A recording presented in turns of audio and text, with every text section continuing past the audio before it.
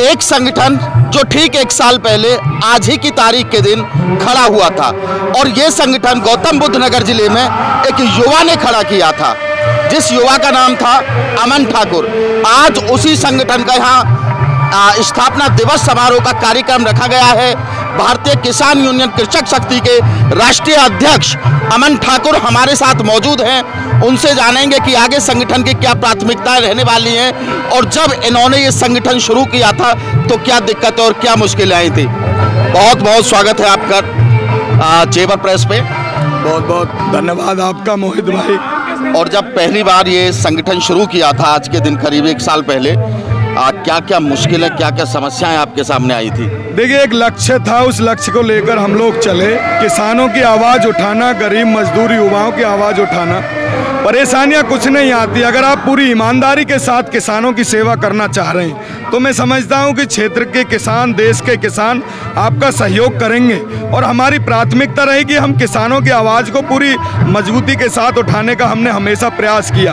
बात चौंसठ पॉइंट सात परसेंट की रही हो बात यहाँ के सड़क यहाँ की व्यवस्था जो सरकारी अस्पताल सरकारी स्कूल आदि इन, इनका सौंदर्यकरण की हो पूरी मजबूती के साथ भारतीय किसान यूनियन कृषक शक्ति ने उठाया है और हमें सफलता भी मिली है। स्थानीय युवाओं के रोज़गार की बात हो हमने पूरी मजबूती के साथ उठाया और 40 परसेंट युवाओं को रोज़गार यहाँ की यमुना प्राधिकरण और ग्रेटर नोएडा प्राधिकरण ने देने का काम किया।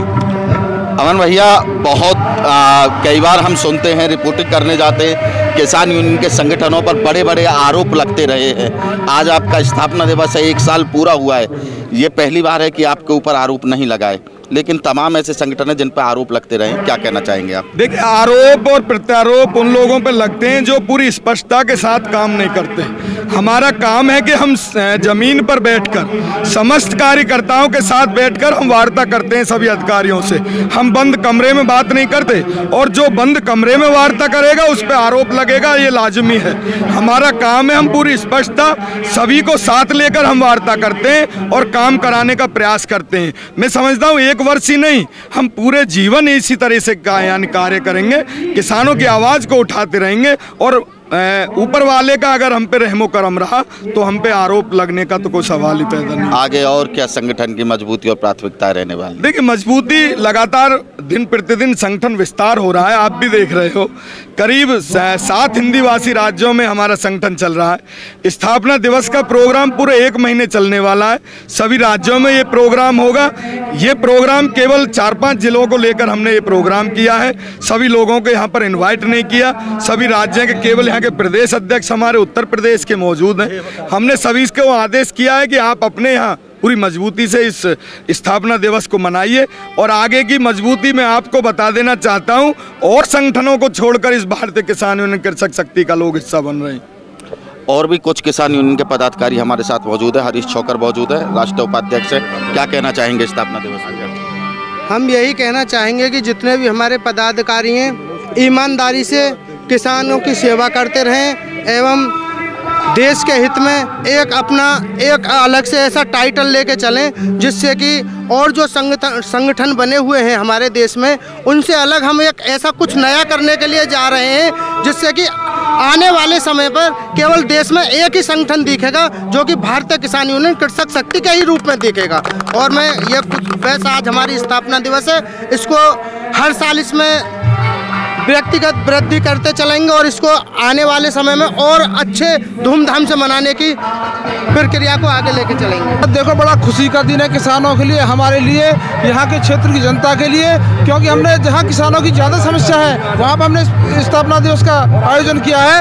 और ये क्षेत्र, जिस तरीके से हमारा ये संगठन, इस क्षेत्र के किसानों की एक तरीके की आत्मा बनकर आवाज़ उठा रहा है। इससे यहाँ के किसान बहुत खुश होंगे और हम उनके लिए आवाज़ उठाते रहेंगे। स्थापना दिवस के लिए मैं सभी किसानों को हार्दिक शुभकामनाएँ देता हूँ अपने संगठन के लोगों को धन्यवाद देता हूँ। यही कहना चाहता हूँ। क्या कहेंगे देखिए पहले भी किसान यूनियन है लेकिन उन्होंने काम जिस तरह से किया उसको देखते हुए हमें लगा कि निश्चित रूप से किसानों के लिए वो आवाज़ नहीं उठ पा रही है जो उठनी चाहिए। इसलिए यहाँ के मूल निवासी अमन ठाकुर जी ने और अपने साथियों के साथ मिलकर कृषक यूनियन, भारतीय किसान यूनियन कृषक शक्ति का एक उद्घाटन किया, यानी एक तरह से बनाया उसको, जिससे कि सही मायने में किसानों की आवाज़, किसानों की समस्याएँ, किसानों के दुख और किसानों की जो हालात हो रही है, उस सब पर सही ढंग से हम अपनी बात को उठा रहे हैं। पिछले काफ़ी दिनों से उठाते चला जा रहे हैं। आज हमारा स्थापना दिवस है। यहाँ से हमारी तीव्र गति और तेज होगी और किसानों की आवाज़ को हम आगे उठाएँगे। आज किसान यूनियन कृषक शक्ति के स्थापना दिवस के मौके पर यहाँ पे लोग इकट्ठे हुए हैं और हम हमारी भारतीय किसान यूनियन कृषक शक्ति किसान मजदूरों की आवाज़ उठाती रही है और उठाती रहेगी। हम किसानों की लड़ाई का, काफ़ी संघर्ष के साथ लड़ेंगे। यही हमारा उद्देश्य है। देखिए हमारा जो संगठन है भारतीय किसान कृषक शक्ति ये संगठन एक बहुत मजबूती पर जाएगा क्योंकि ये संगठन बहुत चल रहे हैं और ये संगठन जो है एक ईमानदारी के साथ चल रहा है।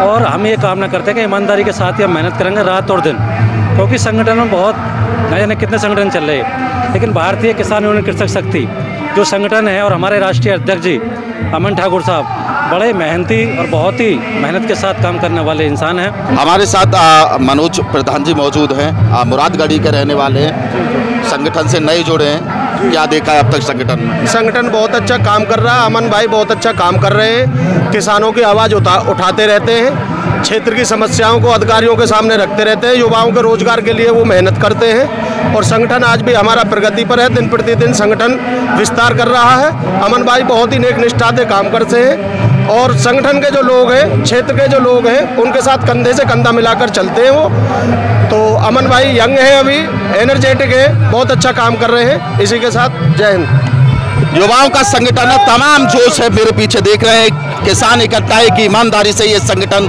बढ़ रहा है एक ईमानदारी से ये एक संगठन आगे की तरफ़ चल रहा है।